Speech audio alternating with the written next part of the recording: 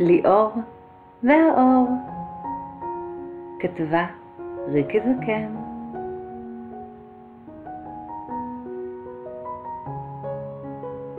ברגע של שקט הקשיב ליאור לרוח שורקת.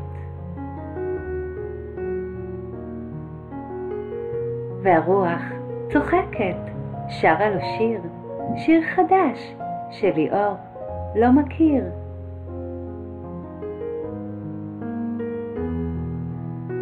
ברגע של שקט וזורה גחלילית, פסיעות קטנות לה, בערפילית.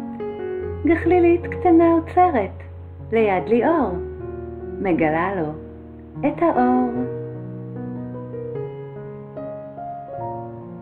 ויפה היא הקטנה, אך כשליאור מדבר, היא בורחת לפינה.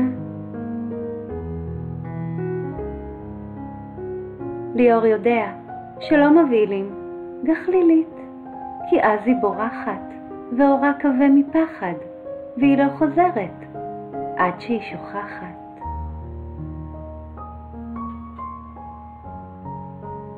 כעת הרוח שורקת, וגחלילית נבערת. ליאור מחפש אחר האור, וגחלילית נעלמת. מהחושך נרדמת.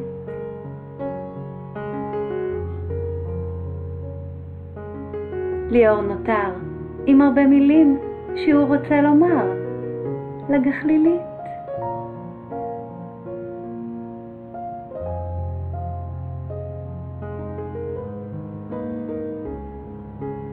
שותק ולא מתרחק עם גחלילית, מבקש לשחק.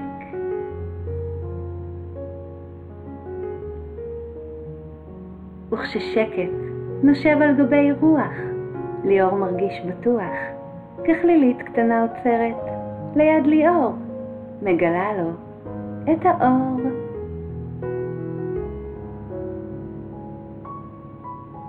השקט בא לנשוב, אפשר בשקט לאהוב.